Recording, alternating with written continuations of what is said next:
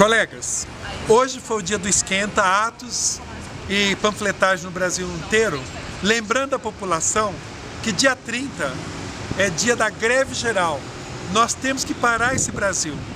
Já que o governo não ouve o povo, nós temos que bradar muito forte.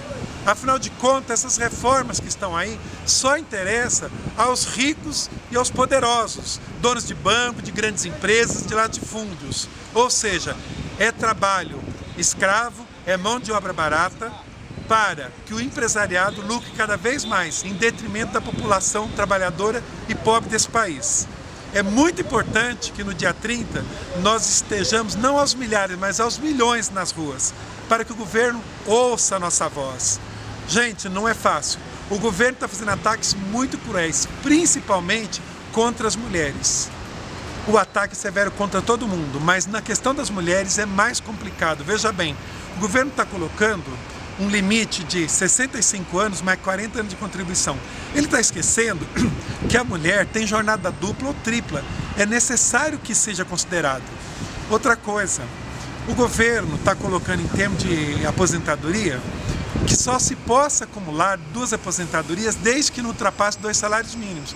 Então, se a mulher ganhar dois salários mínimos, tipo R$ 1.874, e o marido ganha 2, 3, 4 mil, se ele vem a falecer, os dois são aposentados, ela não tem a pensão do marido mais, ela viver só com a pensão dela.